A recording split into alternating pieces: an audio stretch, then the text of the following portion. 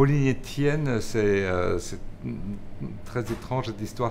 Donc, il y a eu un casting, il y avait une, Aurélie Guichard qui a fait le premier casting du film, qui m'a proposé des, gens à voir. Et la première personne que j'ai rencontrée, c'est Pauline Etienne.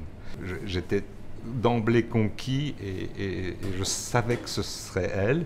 Puis j'ai dû voir toutes les autres, évidemment, et je revenais toujours à Pauline Etienne. Mais au moment où je l'ai vue, elle n'avait pas euh, fait encore la religieuse, elle avait fait très peu de choses. Je l'avais vue dans un seul film, je l'avais vue dans, Élève libre de Joachim Lafosse, un tout petit rôle qu'elle avait là.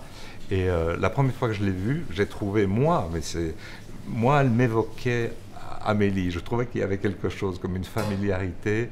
Et puis, euh, il y avait, elle a une lumière, elle a une.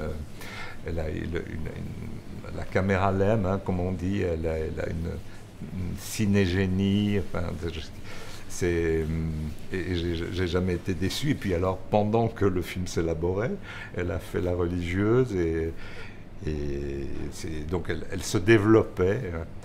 Et il y a plein de choses un peu miraculeuses comme ça avec elle. Pour la religieuse elle s'est coupé les cheveux.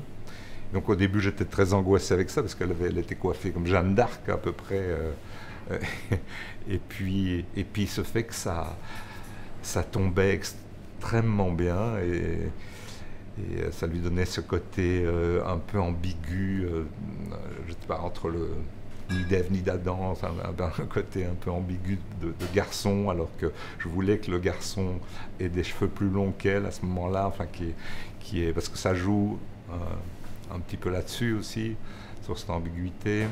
Ils sont très jeunes, ils, sont, ils se cherchent, ils se cherchent tous les deux.